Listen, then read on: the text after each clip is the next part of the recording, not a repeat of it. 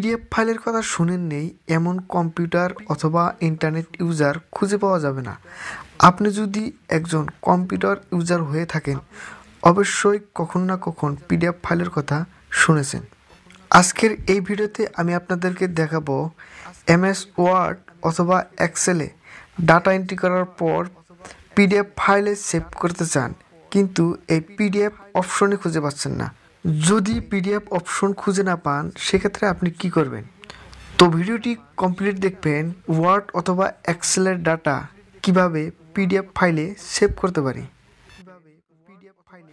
তো ফ্রেন্ড আমি এখানে কিছু ডাটা এন্ট্রি করছি এমএস ওয়ার্ডে তো এ দেখতে পাচ্ছেন, এখানে আমি কিছু ডাটা এন্ট্রি করছি, এটাকে আমি পিডিএফ ফাইলে সেভ করা লাগে। তো এখানে এসে সেভ অ্যাস অথবা প্রিন্ট এই জায়গাতে যদি সেভ অ্যাস করি, এখানে দেখবেন পিডিএফ নাই পিডিএফ অপশনটা নাই এখানে। দেখতে পাচ্ছেন এখানে অপশনটা নাই। তারপর এখানে যদি দেখি এখানে থাকা লাগে পিডিএফ ফাইল অপশনটা এখানেও নাই। তো এক্ষেত্রে কি করার লাগে? তো এক্ষেত্রে আমি কি করব? প্রথমে আমার কম্পিউটার থেকে গুগল ব্রাউজারটা আমি ওপেন করলাম।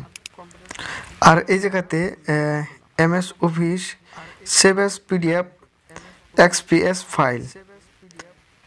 তো পারলে আপনি এইভাবে দেখে আপনি লিখে সার্চ করুন। তো আমি সার্চ করলাম সার্চ করার পর দেখুন, বহুত করে লিঙ্ক আছে অনেকগুলো লিঙ্ক এখানে দেখা দেখা যাইতেছে। তো আপনি কোনটা লিঙ্কে ক্লিক করলে আপনার কামটা সফল হবে। দেখুন, এই যে, এই তিন নম্বর লিঙ্ক আছে এটা তিন নম্বর লিঙ্ক এক, দুই, তিন নম্বর, এখানে লিঙ্ক এই লিঙ্কে ক্লিক করলে ক্লিক করার পর দেখুন ওয়েবসাইটে আসব, এই যে ডাউনলোড যেটা এখানে ডাউনলোড নাও এখানে ক্লিক করলাম।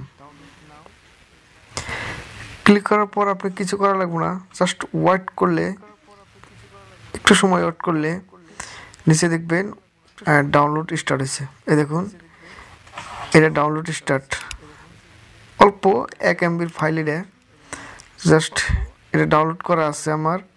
তো আমি ডেস্কটপে রাখছি। এটা। তো এইটাকে আপনি ডাবল ক্লিক করে ইনস্টল করে দিলে রান এখানে টিক মার্কটা দিয়ে কন্টিনিউ করলে এটা ইনস্টল হয়ে যাব। এবার দেখুন, এটা দ্য ইনস্টলেশন ইজ কমপ্লিট বাস এখানে আসব, আমি ওকে করে দিলাম। এরপর এবার যদি আমি এই ফাইলটা খুলি, দেখুন, এবার আমি সেভ করব পিডিএফে দেখুন, নিচে কিন্তু যে পিডিএফ এখানে এটা লেখা আছে হ্যাঁ। তো এই জায়গাতে যদি চান, দেখুন, এই যে এখানেও পিডিএফ অপশনটা এই জায়গাতে এসে গেছে। তো এটাকে সেভ করার জন্য তো আমি পিডিএফে রাখলাম, আমি ডেস্কটপে এই ফাইলটা সেভ করব। এখানে নামটা দিয়ে দিলাম। এই নামটা আর এখানে পিডিএফটা আমি অপশনে রাখলাম। এখানে সেভ সেভ করে দিলাম। তো দেখুন, একদম সহজভাবে আপনি এই কামটা করে নিতে পারবেন।